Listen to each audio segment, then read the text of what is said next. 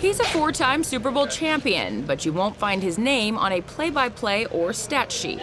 I'm Ronnie Barnes, and I'm the head athletic trainer and senior vice president for medical services for the Giants.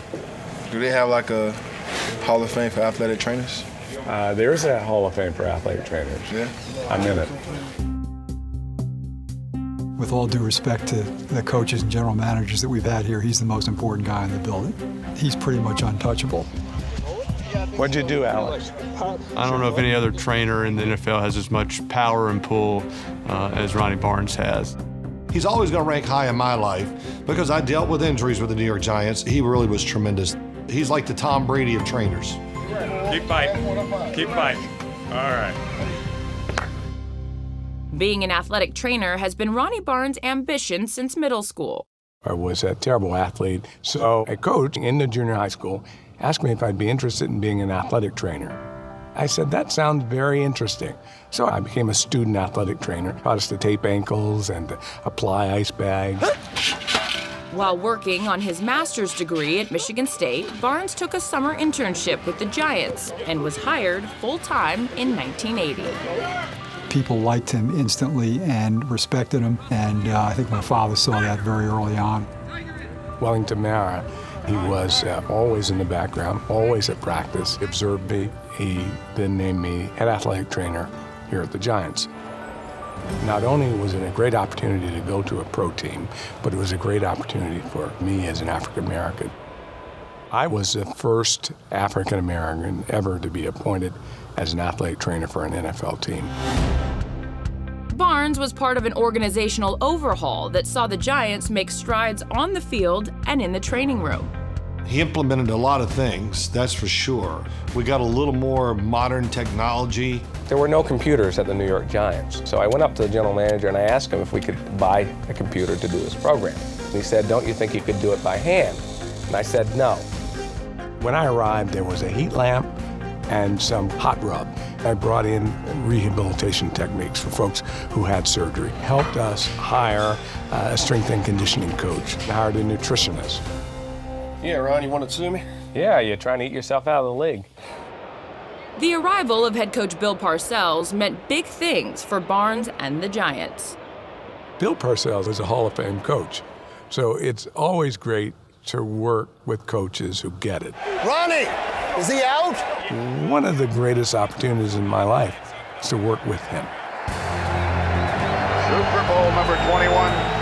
I would go with Bill Parcells every away game to the stadium early. The morning prior to the Super Bowl, silence, complete silence. And so I said to him, You're not nervous, are you, coach? And he said, Nervous? What's that? I said, Well, I'm sure you're worried about Elway. I said, We're going to chase him out into the parking lot. Well, he loved that line. Elway got the ball, backs up to the two. He's in the end zone, got him. Frankie! The Giants are the Super Bowl champions. To go there for your very first time, that was something extremely special, and I will never forget it. 21 years later, guard Rich Seubert hoisted the Lombardi Trophy, an impossible feat had it not been for Barnes. Well, I broke my leg in 2003 playing a game, and you know the first person that came to the field to me was was Ronnie. And this looks serious for Rich Seubert. I had the surgery. He came into the hospital and asked me if I could feel my foot, and my smart comment was, "I don't know. Why don't you touch it?" And he told me, "I, I have been touching it. You haven't moved." So um, I had compartment syndrome in my lower leg, and you know if he didn't come in there to check on me that night, you know who knows what would have happened? Because as you look into compartment syndrome, people lose their legs for that kind of stuff. So for the next year and a half, I pretty much lived in that training room. And he told me that if I just kept working hard with those guys, that I'd be back on that field. He saved my leg and my career.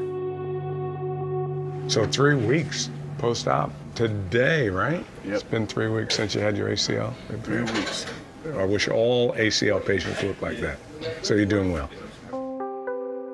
He puts the human being first before the football player, and I think that's a hard thing to do in this business, especially for as long as he's done it. When I got drafted in 07, my dad, who played in the league, Ronnie treated him back in the day, gathered me and said, You have to know one person, Ronnie Barnes. I said, who's Ronnie Barnes? It's the head trainer. I said, who cares about the head trainer?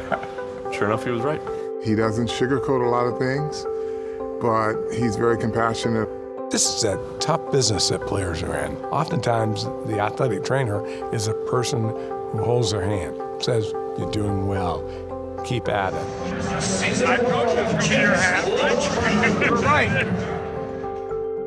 For Big Blue, Barnes is always on call.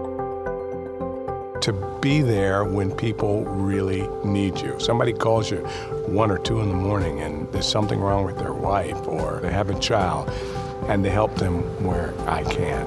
When my daughter broke her arm, Ronnie Barnes is the first person, you know, I call, hey, you know, what do I do? Who do I need to get in touch with? He jumps on it and he treats every player and their families like they're his own kids. At the worst of times, Barnes is at his best, as cancer survivor Dave Gettleman can attest. The cancer. My wife did not have to worry about anything. Ronnie just made sure everything was right. He set the whole thing up. My mother always referred to him as her 12th child because we really do feel like he's part of the family. He took care of my father the last few months of his life uh, when he was hospitalized. Uh, Ronnie was there basically every day taking care of him, and uh, you know, that's something we'll never forget. This is a picture of me and Mr. Mara at a black tie event with appreciation and affection. You're patient well. I have a lot of pride with that. He's really the most respected and revered person in this building. To show you his dedication to this organization, I mean, he could have retired years ago and never worked a day in his life, but he loves being here. I love my job. I really do. I love helping the player who's injured get back to play. And there's nothing better than that. Hey Giants fans, Saquon Barkley here. You want to see more videos? Subscribe below.